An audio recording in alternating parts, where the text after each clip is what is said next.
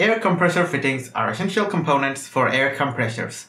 They are used to connect air hoses, tools, and accessories to the air compressor, allowing for efficient and safe operation. There are several types of air compressor fittings available, each with its own unique features and benefits. In this video, we'll discuss the different types of air compressor fittings, their uses, and how to choose the right one for your needs. Number 1. Quick Connect Fittings Quick Connect fittings are one of the most popular types of air compressor fittings. They allow for quick and easy connection and disconnection of air hoses and tools. Quick Connect fittings come in two types, male and female. Number 2. Hose barb fittings. Hose barb fittings are used to connect hoses to air compressors or other fittings. They have a rigid barb that is inserted into the hose, securing it in place.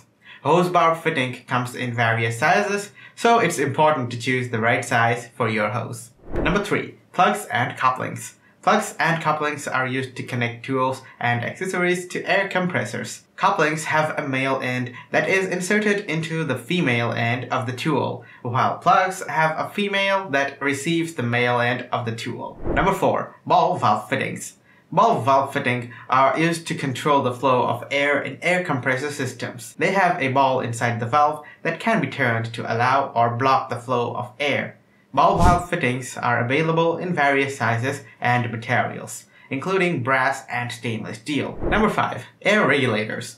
Air regulators are used to regulate the pressure of the air coming out of the air compressor. They are usually attached to the air compressor and have a gauge that displays the pressure level. Air regulators come in various sizes and styles, including compact and large regulators. In summary, there are several types of air compressor fittings available, each with its own unique features and benefits. Quick connect fittings are ideal for easy connection and disconnection of air hoses and tools, while hose barb fitting are best for connecting hoses to air compressors.